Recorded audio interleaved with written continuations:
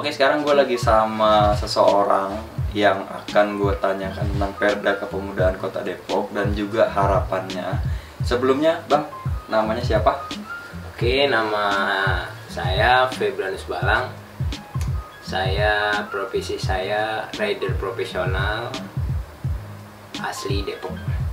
Oke, jadi seorang rider profesional di Kota Depok. Oke, Bang, gue di sini mau tanyain sedikit. Kira-kira kan tadi Abang bilang, Abang ini seorang pembalap nasional di Kota Depok. Ya. Nah, kira-kira apa aja sih Bang pencapaian yang udah Abang dapat?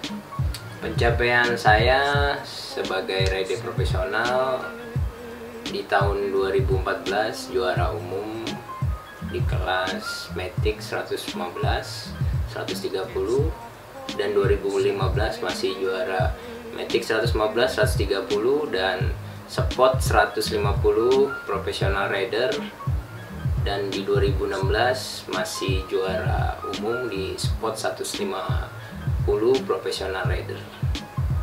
Itu.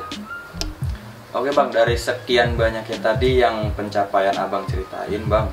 Nah di sini gue mau nanyain lagi nih Bang.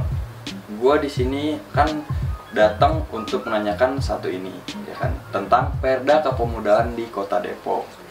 Kira-kira Bang, untuk Abang sendiri seorang pembalap nasional di Kota Depok ini, itu apa sih Bang yang harusnya ada isinya di Perda Kepemudaan Kota Depok itu Bang? Monggo.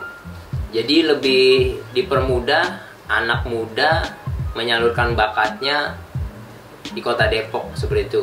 Khususnya dunia balap ya Oh iya, khususnya dunia balap. Eh, ke Depok aja ada tuh eh, wadahnya Depok Racing Team seperti itu contohnya. Oke bang, terima kasih banyak. Eh, gua mewakili dari PDI Perjuangan dan suara-suara anak muda yang gua perjuangin di Perda Kepemudaan Kota Depok. Gitu bang.